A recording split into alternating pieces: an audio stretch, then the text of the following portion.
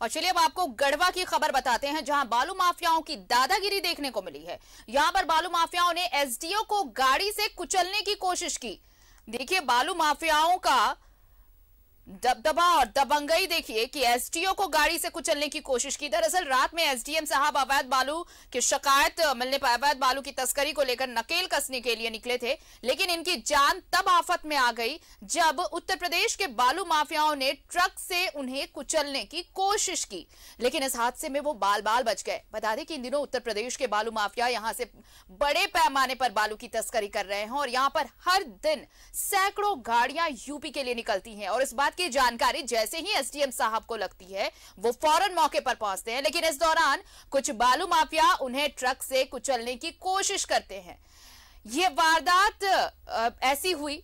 गनीमत रही कि एसडीएम साहब बाल बाल बच गए। लेकिन जरा देखिए किस तरह ये दबंगई बालू माफिया की कि अधिकारी का भी खौफ नहीं, अधिकारी जब मौके पर पहुँचता है तो उसे ही खत्म करने की कोशिश की जाती है, गाड़ी से कुचलने की कोशिश की जाती है। ये तो भगवान का शुक्र कि एसडीएम साहब बच गए। कल रात में मैंने चार बजे का राउंड रेड किया था उसमें एग्जैक्ट नंबर तो अभी नहीं पता है बट लगभग 30 से 40 गाड़ी के बीच में पकड़ाया है। इसको पकड़ने के बाद हमने डीएमओ साहब को सौंप दिया है वो इसका जाँच करके कार्रवाई करेंगे। तो वैध था क्या वैध था बालू इसकी जाँच तो डेमो साफ़ करेंगे, अवैध था कि वैध था, वो प्रॉपर चलान लेके जा रहा था कि नहीं जा रहा था। दूसरा है कि अक्सर मुझे शिकायत मिलती रहती है कि गढ़वा से बालू यूपी भेजा जा रहा है ओवरलोडिंग भेजा जा रहा है, बिना चलान के भेजा जा रहा है। इसी के एवज में मैंने, इसी के आलोक में मैंने कार्रवाई की और ये भी जानकारी मिली कि एस साहब जब बालू ट्रक को रोकने का कोशिश कर रहे थे तो कुछ ट्रक वाले बदमाशी किए हैं, इसकी भी जाँच हम लोग करा रहे हैं। और जो इसमें संबंधित अगर दोषी पाए जाते हैं तो नियमानुसार हम लोग उस पर कार्रवाई करेंगे।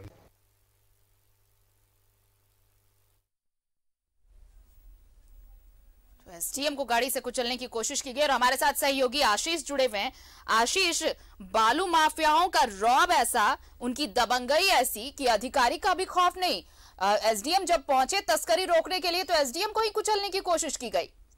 जी बिल्कुल मैं बता दूँ कि नगर उद्यान एसडीओ जो एसडीएम आलोक कुमार हम्म, है वो हम्म। उनको जानकारी मिली थी कि अवैध तरीके से बालू का लगातार उत्तर प्रदेश में भेजा जा रहा है। झारखंड के गढ़वा जिला के जो दो तीन नदी है यहाँ नदियाँ से बालू को उठाव किया जाता है अवैध तरीके से। और उसके बाद भेजने का प्रयास किया जा रहा है तो उनको जानकारी मिली। जानकारी मिलने के बाद चार बजे सुबह के आसपास हो गए।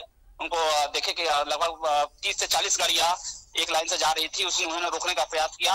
साइड में उनकी गाड़ी खड़ी थी। जैसा कि डीएम ने बताया कि उसके बाद जब इन्होंने रोकने का प्रयास किया तो उनके जो गार्ड थे गार्ड पर पहले चढ़ाने गाड़ी प्रयास किया ट्रक वाले। उसके बाद बगल में इनकी गाड़ी लगी हुई थी गाड़ी के ऊपर भी चढ़ाने का प्रयास किया। हम्म। उसके बाद एसडीएम ने आगे गाड़ी चूँकि बोले कि मैं समझ गया कि ये दूसरे मूड में लग रहा है चूँकि दबंगिरी इनकी कहीं ना कहीं कहीं ना कहीं उनका कहना है कि सपोर्ट ऊपर स्तर से इनको सपोर्ट मिल रहा है इसीलिए ऐसा काम कर रहे हैं गाड़ी वाले। हम्म, हम्म, उसके बाद में उन्होंने चेंज किया गाड़ी को चेंज करने के बाद आगे ब्रेकेटिंग करवाया ब्रेकेटिंग करवाने के बाद गाड़ी को रोका गया।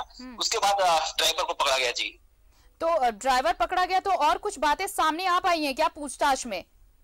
जैसे ड्राइवर को पकड़ा गया उसके बाद ड्राइवर को चूँकि चोट लग गया था ड्राइवर एसडीएम ने बताया कि गाड़ी खड़ा करके भागने का प्रयास किया जिसके बाद उसको चोट लगी चोट लगने के बाद उसको कल सदर हॉस्पिटल गढ़वा भेजा गया जहाँ उसकी इलाज किया गया है लेकिन कहीं ना कहीं अगर इतने भारी मात्रा में गाड़ी अवैध तरीका से उत्तर प्रदेश से भेजा जा रहा है लगातार भेजा जा रहा है। हम्म। गढ़वा के दो तीन नदियाँ हैं जहाँ से बालू उठा किया जाता है अवैध तरीके से हम्म, भेजा जा रहा है। ओवरलोड गाड़ियाँ होती है रोड का जो हालात है रोड की हालत भी काफ़ी बुरी स्थिति में हो गई है। और आप तो सोचने वाली बात है कि एसडीएम जो अधिकारी होता है मंडल पदाधिकारी होता है उसके ऊपर गाड़ी चढ़ाने की बात है तो कहीं ना कहीं ऊपर से बहुत ज़्यादा उनको सहयोग दिया जा रहा है। तो ऐसे हिम्मत नहीं होती है कि उत्तर प्रदेश से गाड़ी आने के झारखंड भी इस तरह से काम करे। जी।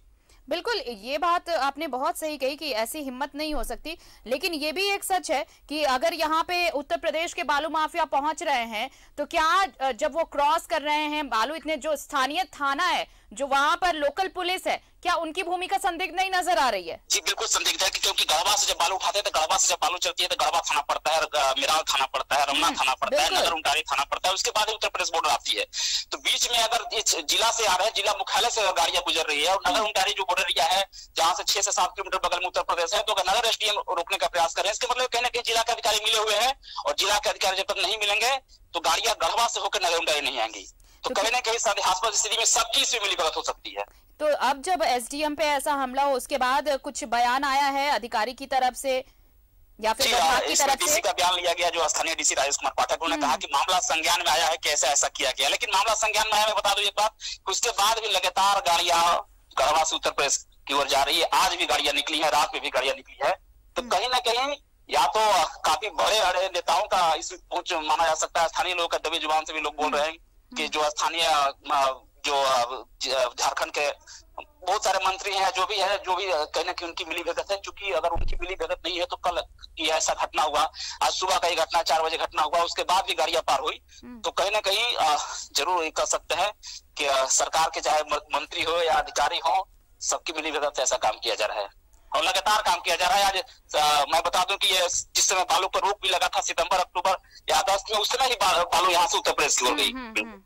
चलिए तो अब ये देखना होगा कि जब इस तरह का, इस तरह की बात सामने आई है, इस तरह का अगर वहाँ पर बालू माफिया अधिकारी को कुचलने की बात कर रहे हैं, अधिकारी की देखिए किस तरह से गाड़ी उनसे, गाड़ियों से कुचलने की कोशिश की गई। अब विभाग क्या एक्शन लेता है और लोकल पुलिस क्या जाँच में देती है तो आने वाला वक्त बताएगा, लेकिन बालू माफियाओं की यह दबंगई देखने को मिली है। शुक्रिया आशीष, तमाम बातचीत के लिए आपका ये गढ़वा से हम खबर दिखा रहे हैं आपको जहाँ पर अवैध बालू की तस्करी को रोकने गए थे एसडीएम और जब वहाँ पर पहुँचे तो माफियाओं ने उन्हें कुचलने की कोशिश की गाड़ी से।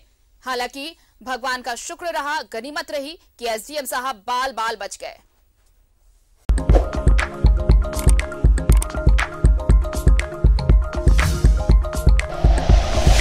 Like and share videos, subscribe करें हमारा चैनल और प्रेस करें बेल आइकॉन न्यूज़ 11 भारत सच है तो दिखेगा।